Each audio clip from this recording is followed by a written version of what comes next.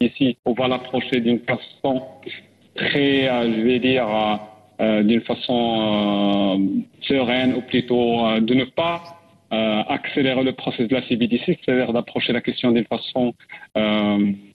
comme il l'a nommé, l'approche du, chameau, c'est-à-dire de, faire des pas, sauf si on est vraiment certain des, des, outcomes, c'est-à-dire des, résultats.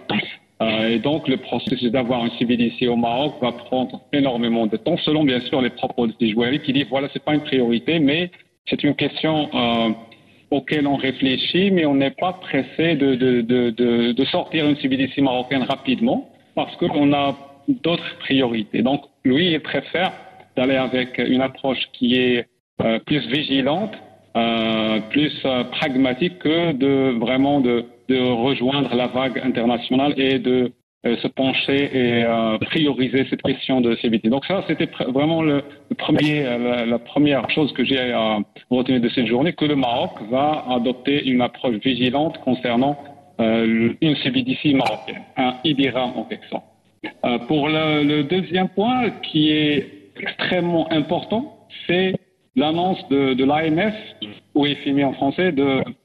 d'une plateforme euh, qui va interconnecter les sites. شكون؟ خالتي عايشة كاملة وقول لي اش بان لك رضا أنا وياك نديروا مشروع دير اش هذا المشروع أنتم تتابعون معنا هذا السفر الجديد من أسفار أطلس المغرب. اتفاقية الشراكة الخاصة بتمويل وتنفيذ برامج التنمية المندمجة للجهة des opérations financières à base de, de, ces monnaies, euh, de de euh, banque centrale. Donc l'idée, c'est de, de, créer une sorte de, canal international qui va permettre de fluidifier et aussi simplifier les opérations